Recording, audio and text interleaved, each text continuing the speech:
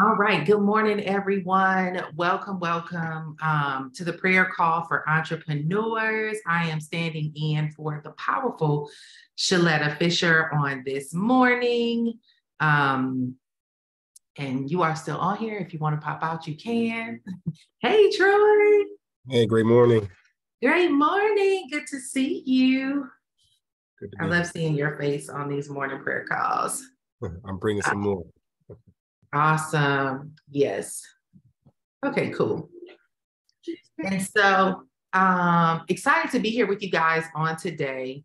Yeah, I know we were on on Tuesday. I think God had me hidden on Tuesday to really get stuff out.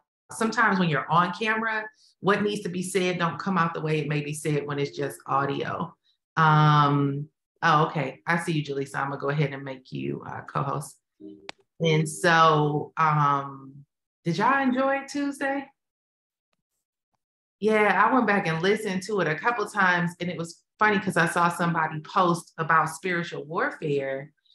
But in that conversation, something shook up for me because I think a lot of us might be encountering a, a crazy season. I don't want to say crazy season, but a transitional season. Um, and sometimes when you're encountering transition, opposition comes right? When elevation is happening, you might have this level of like suppression trying to conquer.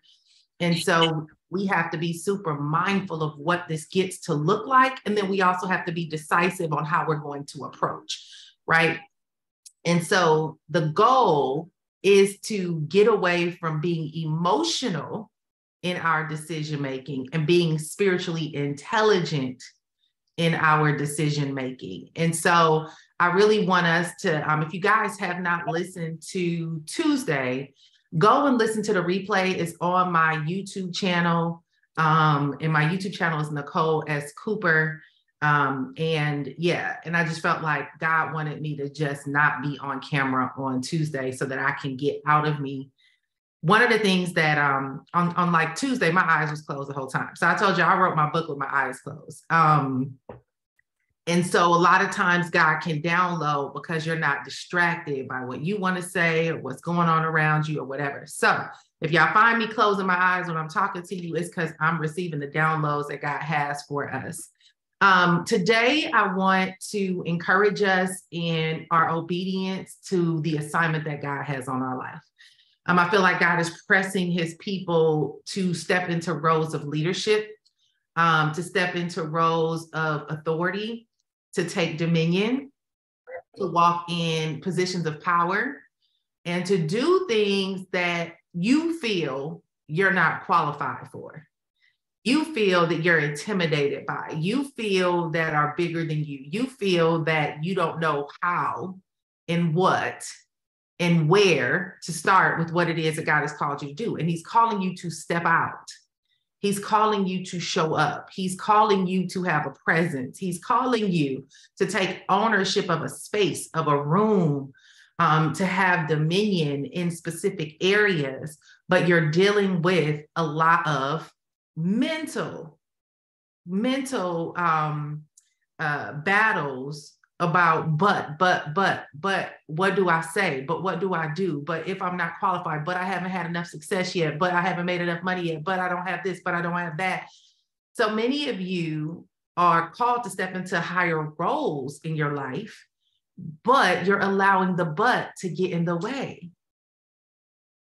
You're allowing the but to get in the way and you feel like if I could just do this one more thing, if I can just wait until I get this one thing done, if I can just go ahead and accomplish this one more, it's like but, but, but, but, but, but, but, and you're constantly in a state of delay. And so this morning, we're going to pray against delay. We're going to pray against distractions. We're going to pray against imposter syndrome. We're going to pray against that. We're also going to pray against the people in your circle trying to remind you of who you were, the people in your environment trying to tell you you're not qualified, the people that are trying to badger you about who you think you are, right? We're going to pray for God to remove the toxic relationships out of your life, to remove the naysayers out of your life, to disconnect you from the people that are becoming more of a burden in your life than they are a blessing and a contribution to your life. To pray for you to be in the right rooms, in the right circles, so that you can be amongst the right conversations. To pray that you have access and reach to people that can help you elevate. Where Proverbs 18 16 says, Your gifts will make room for you and plant you before great men, right? To pray and ask God for you to have a level of courage that even in the midst of it all not making sense, that you still walk in that anointing that God has placed upon your life to take ownership over the assignment on your life. I want you guys to understand how God works, and then we're going to get into prayer. And today we are going to pray against imposter syndrome, and we're going to pray for courage. And I want y'all to understand that you are smart enough, you are enough, you are worthy, you have what it takes. You know, you you are not too old, it's not too late, you didn't miss the mark. Is there's no shoulda, coulda, woulda. You should have did this 10 years ago, 15 years ago, back when you could have did X, Y, and Z. God has assigned you for such a time as this. And one of the things that I I personally have to deal with is letting go of the shame and the guilt of what I knew before but I didn't do. Right? Letting go of the shame and the guilt of the mistakes that I have made. Letting go of the shame and the guilt of whatever is attached to what was. Because I believe that a lot of us, especially women, those of us who are moms, right? We're wives. You know, we try to be super women. We want everybody to be okay. And we make ourselves last. We put ourselves last. And then we get further along. And then you start saying, oh man, I wish I would have just done this then. Right. And the reality is, is that God got you. God will restore, He will redeem the time, He will allow you to walk in a spirit of total redemption, meaning that anything that he assigned for your life, you will still be able to retrieve it all and declare it all. And so, in order for us to be fully in alignment with God's will, we have to be fully surrendered to his process. And his process means that we got to let go of our opinions about how God wants to work through us about what he wants to do in it in us how he how he's going to do it. Y'all know that guy what's his name? Kb who be on tiktok who got all these crazy followers and he just does this in his videos when he's like that didn't make sense let me show you what makes sense he just does this but it's like what understanding god's gonna work it out he's gonna work it out and so I know for me, I've been in a season of God saying, just trust me and move. Just do what I say. Stop asking me all these questions. Stop looking back at what was. Stop second guessing what's to be. Stop disqualifying yourself. Stop telling me why you can't do it. Stop telling me who said what. Stop looking to these other people who don't understand the assignment. Stop walk walking in guilt for things that you didn't know better on. Stop. It's like I'm constantly having God coach me. Every little move I make, I'm hearing God say, stop, stop worrying about that. Let that go. Stop focusing on this thing. Stop asking these questions. Just trust me. Just move. Like, just go forward into what I've assigned you to do. And so I want to, um, I'm a, um, go over a few scriptures with you guys um, so that you can be able to have something to reference uh, um, um, after the call. And so today I'm actually reading from my book, Praying Bold Prayers. If you don't have it yet, you do want to get a copy of this. Um, this is not just a promo. God literally used me to write this book. And this book is my personal prayers of where I have been in my life. And one of the prayers in here is on imposter syndrome. Imposter syndrome, right? Um, one of the sad things about most of us is that everybody can see the gifts that we have that we can't see in ourselves. And when we when we attempt to walk in it, we allow life circumstances to deter us Um, so we have to, we talked about this on Tuesday, we have to get into a place in a state where we renew our mind, where we begin to see things differently, where we begin to meditate on God's word for the promises of who we say we are. And we get to, we get to have the mind in, in us, which is also in Christ Jesus. We get to have the Holy Spirit that is able to download and work through us directly from heaven so that God's kingdom come and his will be done on earth as it is in heaven through us. Right? We get to be the vessels that God used. We get to be the opportunities that God wants. Um, we get to be the people that walk in the opportunities where God can make miracles happen. Signs, wonders, and miracles will happen because of you. You are the sign, you are the wonder, and you are the person that God wants to work through to make miracles happen. So we are going to go over a few scriptures and then we're going to pray um, we're going to pray over imposter syndrome to remove imposter syndrome out of our life, to take ownership of God's will and purpose for our life. Um, and then we are also going to say some declarations about who we are in the Lord and what it is that God has promised us um, through his will, his purpose, and through his word. Okay. So I am going to um, I'm pulling up a couple of the declarations. And I am pulling up a couple of the scriptures. I have some scriptures in here.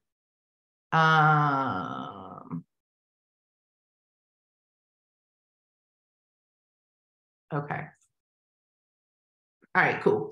So the scriptures for imposter syndrome I'm going to go over a couple of them. So Ephesians 2:10 says, "For we are God's handiwork, created in Christ Jesus to do good works, which God prepared in advance for us to do." I'm going to repeat that. For we are God's handiwork, created in Christ Jesus to do good works, which God prepared in advance for us to do. So, y'all listen to that scripture. So you are God's work. He put you together that he can work through you. He prepared you in advance. There's things that he prepared to do through you in advance um, that he has he has already already assigned you to do. Um, Isaiah 64 and 8 says, Yet you, Lord, are our Father. We are the clay and you are the potter. We are all the work of your hand. He is working through us. If you read Psalms 139, I'm actually going to pull up. This is something that you want to read um, in its entirety. This is one of my favorite scriptures.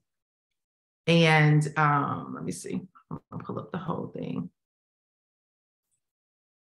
Psalms 139, 139. So it says, You have searched me, Lord. You know me. You know when I sit and when I rise. You perceive my thoughts from afar. You discern my going out and my lying down. You are familiar with all of my ways. Before a word is on my tongue, you, Lord, you know it completely. You hem me in behind and before, and you lay your hand upon me. Such knowledge is too wonderful for me, too lofty for me to attain. It says, Where can I go from your spirit? Where can I flee from your presence? If I go up to the heavens, you are there. If I make my bed in the depths, you are there. If I rise on wings of the dawn, if I settle on the far side of the sea, even there your hand will guide me. Your right hand will hold me fast. If I say, Surely the darkness will hide me and the light become night around me, even the darkness will not be dark to you. The night will shine like the day, for darkness is as light to you. And then this is where it gets really juicy, right? This is where he tells you how he created you. It's at verse 13, 139, 13, 139, 13. It says, For you created my inmost being. You knit me together in my mother's womb. I praise you because I am fearfully and wonderfully made. Your works are wonderful. I know that full well. My frame was not hidden from you when I was made in the secret place, when I was woven together in the depths of the earth. Your eyes saw my unformed body. All the days ordained for me were written in your book. Listen to this. Your eyes saw my unformed body. no, it's 139. 13. Yeah, 13. What Psalms 139, 13. Um, my frame was not hidden from you when I was made in the secret place, when I was woven together in the depths of the earth, your eyes saw my unformed body. All the days ordained for me were written in your book before one of them came to be. How precious to me are your thoughts, God. How vast is the sum of them. Were I to count them, they would outnumber the grains of sand. When I awaken, I'm still with you. This is a scripture where he talks about he wove you together in your mother's womb, right? There's different versions of this, but reading Psalms 139, okay?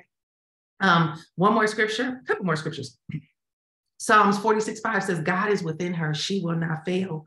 God will help her at the break of day. Now, ladies, y'all really need to put that man, you just change it. Y'all can say him, right? But God is within her, she will not fall. God will help her at the break of day. Um, and so that's Psalms 46 5. What was the Isaiah scripture? Isaiah 64 8.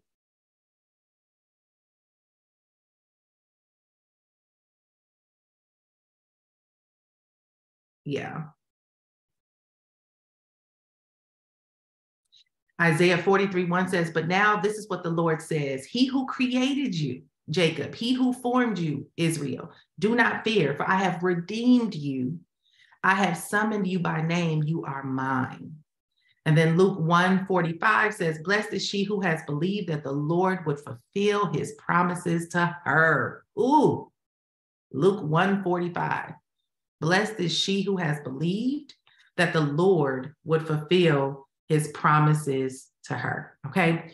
So I am going to, this morning, we're going to say a prayer over um, imposter syndrome. Because here's the thing, you guys God knows we are flawed. He just is looking for a yes. He's looking for vessels. He's looking for people who are willing, right? Which book was it? Chapter 64 5? 64 5. I didn't say 64 5. Um, it was Luke 145. Luke 145. And Isaiah 64 8. Okay. Isaiah says, Yet you, Lord, are our Father. We are the clan. You are the potter. We are all the work of your hands. Yep. Luke 145 and in Isaiah 64 8. So here's here's today is prayer over imposter syndrome. Um, it is the uh, ability to walk in what God has assigned for you to do. God has called us to rise up for such a time as this. Um, I don't know if you guys are familiar. This is also, um, let me pull up. I'm looking up uh, the scripture. Um, this is, what is this one? Uh, where is this one at? There's one more scripture I want to share with you guys. And I don't know where it is. I'm gonna have to find it. But it's talking about God pouring out his spirit upon all flesh, right? In the last days. So I am, I'm gonna find it. It's here somewhere. Um, let me find it real quick. Pour out his spirit. And that's what's happening. God is pouring out his spirit on us, right? Um, yep, Acts 2:17, is that it? Yeah. It says in the last days, this is Acts 2:17. In the last days, God says, I will pour out my spirit on all people. Your sons and daughters will prophesy, your young men will see visions, and your old men will dream dreams. Right? Y'all can look around the world that is around us. God is pouring out his spirit on all people, right? Your sons and daughters will prophesy, and your young men will see visions, your old men will dream dreams. That means that God is speaking to us and through us, right? It's also in Joel 228 um, the, the same scripture is referenced in there, but we got to understand the times that we are in and what God is doing in and through us, and why we have to walk in spiritual intelligence, right? Spiritual intelligence is the ability to remove yourself from your personal human emotion and instead be in alignment with the Spirit of God to make decisions according to God's will and not your human nature. Right. So it is the ability to remove yourself from being emotional about everything, right? Being so caught up in what you can and cannot do, and instead walking in the fullness of what God desires to do in and through you. And so we're going to pray over emotion, um, pray over imposter syndrome today so that we can be obedient to God's will. Once again, this is in my book, Praying Bold Prayers. Um, you guys can get your copy. We'll t- I'll tell you more about that a little later. All right. So it says, Heavenly Father, I come before you in prayer against imposter syndrome and feelings of inadequacy.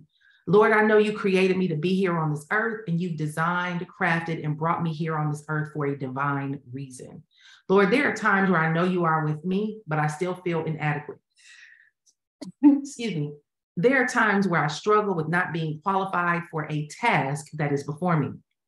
There are times that I feel like I'm not doing enough, smart enough, and not capable to take on the assignment that is before me. But Lord, I come to you now asking that you remove these ego driven struggles out of my life. I repeat that.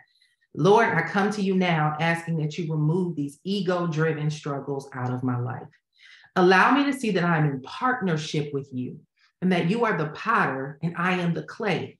And you have and will continue to shape and mold me however you see fit for me to fulfill your will and purpose for my life.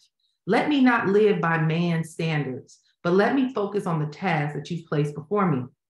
Help me, Lord, that I can focus on taking the necessary actions to live out the assignment.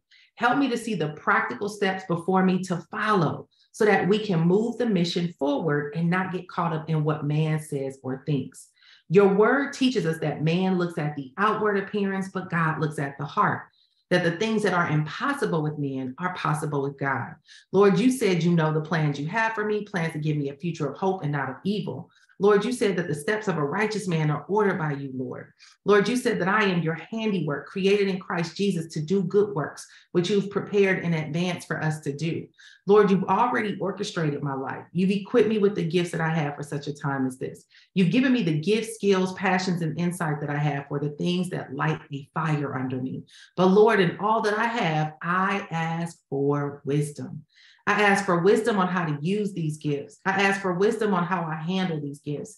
I ask for wisdom with how I serve others with these gifts. Allow me to see God in everything I do. Allow me to experience this divine partnership where I know that it is you working through me to create the impact, produce results, and bring forth a profitable return through the work of my hands. Let me not walk in shame, fear, or play small with what you've given me, but let me operate boldly in these gifts, knowing that I am your masterpiece, carefully crafted and molded together with all the amazing qualities that you've gifted me with, and I am not to be in shame, fear, or intimidated about them. Instead, Lord, let me be the light in all situations where I honor, praise, and glorify you through the work that I do. That when people encounter working with me, they don't just see me performing a task, but they experience a shift in their lives. Let my life minister to others. Let what I do bring forth hope, restore people's faith, and produce such a level of success that it gets the attention of those that are hungry to experience you in their life. Let my life be an example and set a standard for what walking by faith looks like. Let my life represent the power of operating in your anointing when becoming a partner with you, Lord. Let my work exemplify the supernatural. Let me not be moved by ego, Lord, and let me not attempt to walk this journey alone. Yes, I want to continue to improve and invest in myself for growth, knowing that you encourage us in your word to rise early and work to earn our keep. Bless the work of my hands 100 fold, dear Lord. Let the work of my hands be um, produce such a profitable return that I'm able to build your kingdom and operate freely as an evangelist of what happens when you partner with God. Let me not grow weary in well doing, but in all things be diligent that I complete whatever task that is placed before me in excellence. Let any praise, recognition, and accolades come as a shining light of the Christ in me and not just on me. Father, I want to be your partner. I want to be entrusted to operate fully as the mighty vessel that you have carefully crafted for such a time as this. I'm honored that you chose me to do this amazing work, to build others up with my gifts, to impact a nation of people, and to do it knowing that it's all done to glorify you. I rebuke imposter syndrome in the name of Jesus. I denounce any feelings of inferiority or unworthiness in the name of Jesus. I declare that anything the enemy attempts to sow as a seed of doubt be cast down into the lake of fire in the name of Jesus. Quench the fiery darts of the enemy, Lord, and allow me to operate fully in the victory that has already been granted through you, where you've already blessed everything that I do. I surrender these prayers in your precious and holy name. I pray. Amen. One of the things that I um, am excited about with this book is that when you go through and you read the prayer, because that's the prayer against imposter syndrome, we also have, have affirmations and declarations. So I'm going to read a couple of the affirmations and the declarations. Okay. It says, I am worthy of the gifts that God has planted within me, and the world is waiting to experience these gifts. My unique approach to what I do is wanted, needed, and God has gifted them to me to deliver them to the earth as a gift for this very exact moment in time. God specifically chose me to carry this gift that I have with the work that I do. He is proud of me for investing in myself, mastering my craft, growing my gifts, um, growing in my gifts, and it brings him pure joy to see me use my gifts and share them with the world. I am called by God to do what I do. And everything that I do, I am in partnership with God, which means we already have the victory. I am fearfully and wonderfully made. I am fully equipped to operate in my giftings freely without shame, but instead I shall operate in the spirit of boldness because what I do, who I am, and all that I accomplish is designed to glorify God. I am honored that God chose me to do what I do. Therefore, I will walk, work diligently with a smile on my face and the spirit of expectation that others will be blessed from the work that I bring to the earth. I am honored to possess the gifts, skills, talents, and passion that I have. I rise in them knowing that I was uniquely designed to bring them forth to the world. I will invest in growing in the gifts that God has given me, and I will have joy in my heart with a feeling of gratefulness that I get to do what I do and impact a nation of people with the work of my hands. When I walk in a room to perform my work, the room brightens up into vibrant energy that brings forth a radiance and joy to others. Lord, help me to remain humble and level headed, giving you the praise, knowing that anything that I accomplish, any success that I experience, any lives that are transformed as a result of the work that I do is all done because of the power of the Holy Spirit working through me. I am called by God, chosen by God, and gifted by God. Therefore, I proudly own the gifts that God has granted me.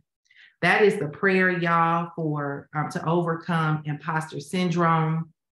And one of the things that I, I want to share with you guys um, about about just little simple strategies and things that you can do because I'm gonna just be honest, y'all. Like it has been so many battles for me over here. Like I, I can literally feel me trying to swim upstream in what God has called me to do. Any little thing that can try to come as opposition to discourage me, to distract me, to detour me. I mean, it is working overtime to try to discourage me. And the challenge is this when you're in this journey to walk in God's will, it is a very lonely road. You don't have the ability to call a lot of people. You can't often tell people how you really feel or what you're going through.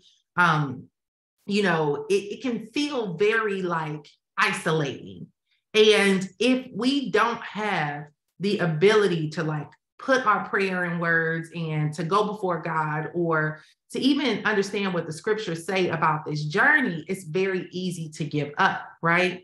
But when you start renewing your mind with the word of God, with the things of God, with um, the promises of God, right? It's always going to feel crazy because what God says is often very opposite of your current circumstances and what you're dealing with. But that's where faith comes in, and you have to exercise your faith. And you have to ask God, Lord, expose to me what steps I need to take, what strategy I need to implement in this current season, this current experience. Like, what, how do I navigate through this thing? And then you walk in the godly wisdom that God gives you, which will be in a complete opposite of your human intellect. Our human minds are only going to function according to what we see.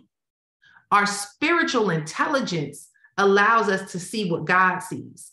So the Bible tells us let the mind be in us, which is also in Christ Jesus, right? And then in First Corinthians 2, it talks about what man knows the things of God except the mind of God. Like, you know, who knows the things of God except the mind of God?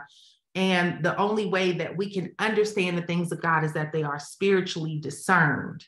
That means that we're able to tap into the spirit of how God is moving and we're able to be connected to the way that God operates through the Holy Spirit.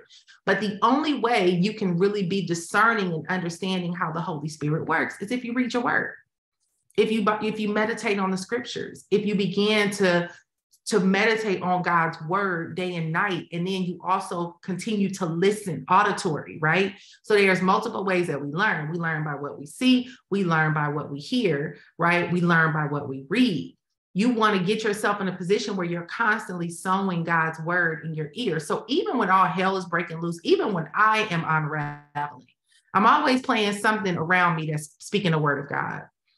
Last night, it was so much going on. Michael Todd was on right? Um, the minute I get up in the morning, Apostle Joshua Selman is on. I'm always listening to the prayers of Apostle Joshua Selman, the declarations that he speaks, you know, and, and the different, just different forms of like sowing this in my ear so that whatever my mind is trying to conjure up in opposition to what God says, I'm listening to something that is reminding me of what God says that will help me to get away from my human nature of thinking and help me to see what God says in the spirit realm so that I can begin to wash my mind with the word of God. Renewing, that's the renewing of your mind. You want to be brainwashed. You literally have to brainwash yourself with the word of God. So I am listening to different things that are speaking to me what God says so that whatever my mind is trying to conjure up as a storyline, whatever my mind is wanting to create, whatever people are trying to infiltrate into my ears and say, God ain't gonna do nothing for you. You ain't ready for that. You ain't got this. You never did that. You don't know what you're doing. You're not qualified for that. You don't. You can't. You can't. You can't. All the things that are trying to tell me what I can't do. I'm constantly renewing my mind by listening to something that is telling me what God says.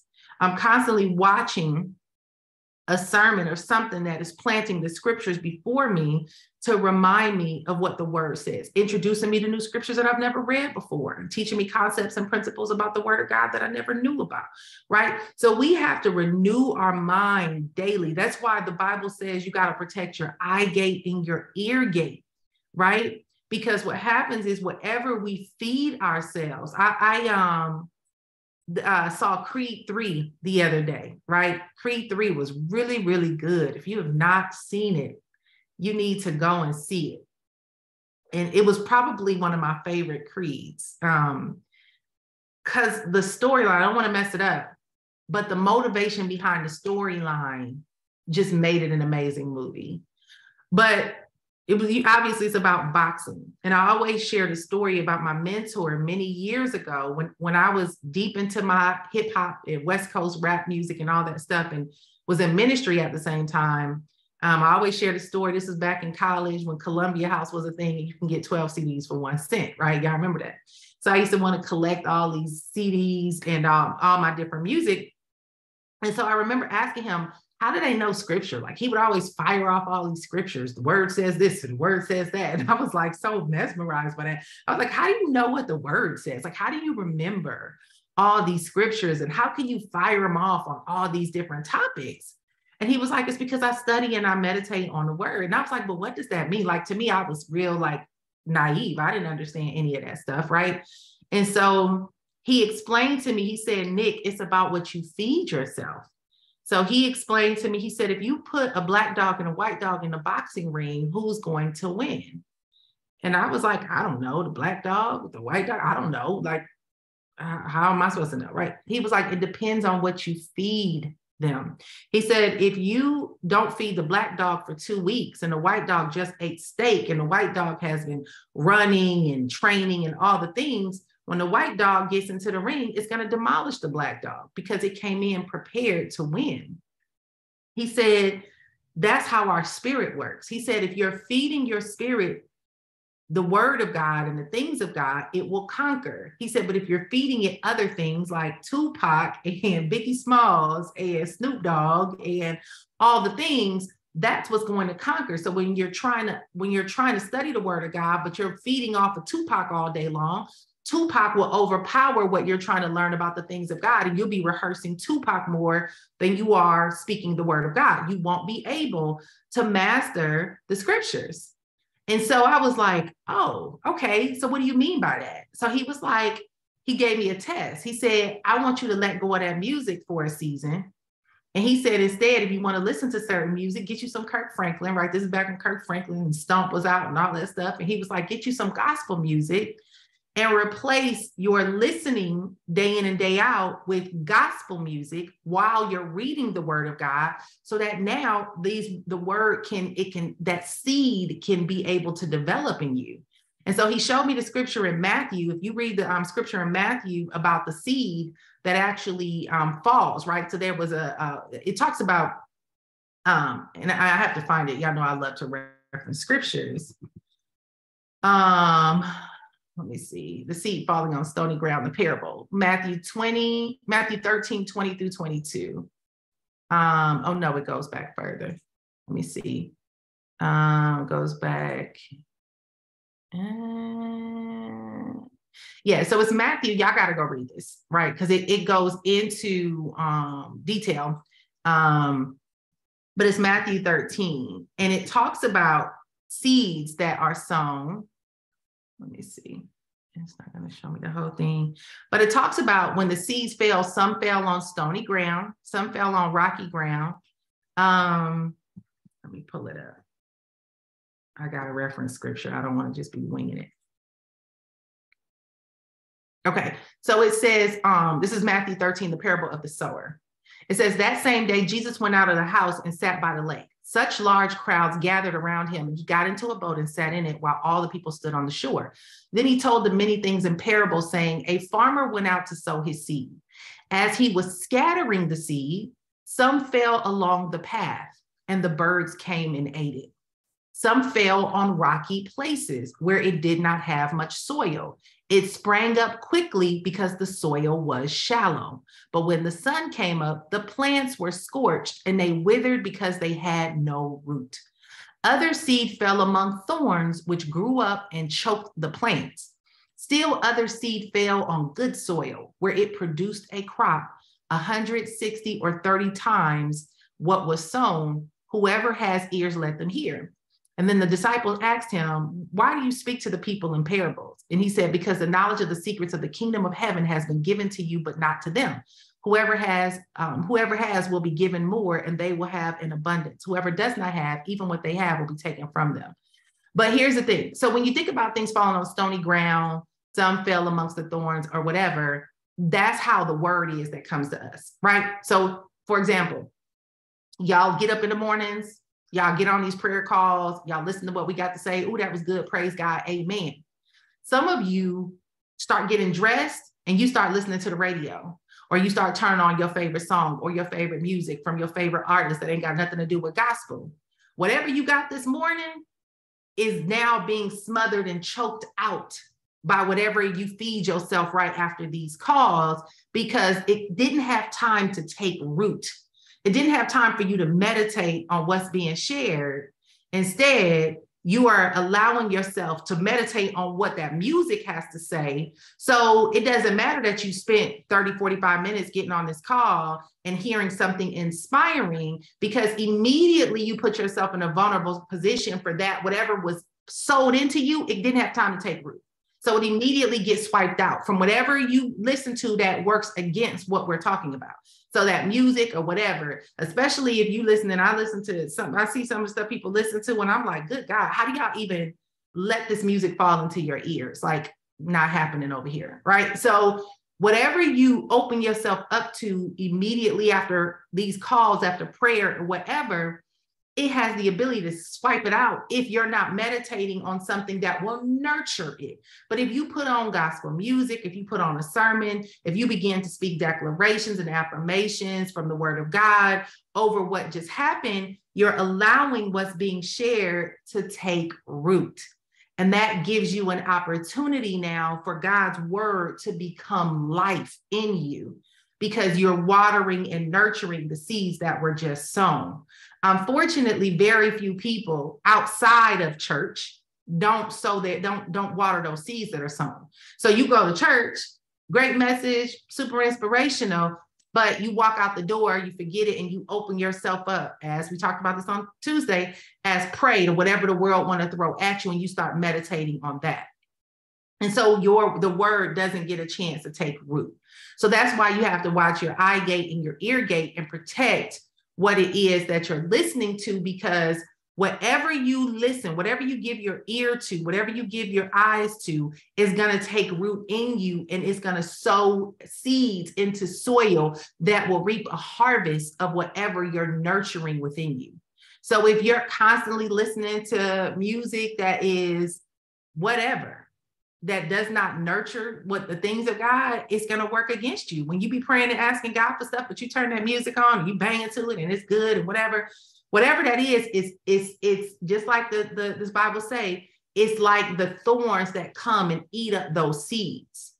So that's why the conversations you have, the things that you meditate on, the people who you give access to you, man, that stuff is so important because otherwise it will begin to choke out what God, the seeds that were, were, sown in you. And then you're wondering, like, man, I'm praying and I'm getting on these prayer calls and, you know, I'm reading the word. I don't understand why things are not working in my favor. Well, what are you opening yourself up to that is taking that seed and actually um, putting it amongst thorny grounds where it's just getting eaten up? So we have to be mindful. So, my prayer for you guys today is that y'all meditate on the word of God. Like, it doesn't mean you're gonna be perfect, y'all. Like I'm telling y'all lately, I feel like I feel I can just tell that the enemy is like, I feel like I'm such a threat. Sounds arrogant, but I'm like, I must be a serious threat to the gates of hell because the level of opposition that has been coming my way, right? But I will, I will continue to meditate on God's word. I will continue to trust in the Lord with all my heart. I will continue to speak life and have expectations for God to do the things He said He's going to do. I will continue to listen to these sermons. I will continue to speak life over myself. I will continue to have great expectations for God's promises to be fulfilled. I will continue to write in my journal and create declarations over the circumstances. I will do all those things. And so I pray that you guys are, I don't want this to just be where you being inspired because we praying. No, you're gonna have to learn to pray for yourself. You're gonna have to learn to read the word for yourself. You're gonna have to learn to study scripture for yourself. You're gonna have to learn to meditate on God's word daily. You're gonna have to learn to keep feeding yourself things that are going to continue to build you up. And if you don't, this is the result. Matthew 13, go and read it. That's that's the parable that God gave as an example on how to nurture what God gives you versus being vulnerable to letting other things steal the seeds that are sown in you that God wants to sow. Okay. So I hope that this is beneficial to you guys. I hope that this was helpful. Um, this recording will be up on YouTube and um, you guys can share it with other people. And then we will be back here on Tuesday. If y'all want, have not gotten the book yet, um, let me see, I got to turn this. Um, if you want the book, you can order it at um, bizismyministry.com, B-I-Z is myministry.com. And um, we also have affirmation cards now, right? So this is where you get the cards and um, these are on the way. We're still waiting for, we just, we had a, a, bundle come and they already was sold out. So we got more on the way, should be here any day now. Um, but these affirmation cards are supporting the, the different affirmations that um that we put in the book. So this one is like I have clarity over every area of my life. And then we have the um the the we have declarations here. And then we have the affirmations on the back where you can speak. And this one says, My mind is clear, my thoughts are aligned, the spirit of the living God is upon me and the mind of Christ is within me. Today, I have clarity over every area of my life, and I know exactly what I am to focus on today. No distraction, outside influence, or weapon formed that attempts to come my way shall prosper. I have the victory, right? We talked about this on Thursday, the irony of that.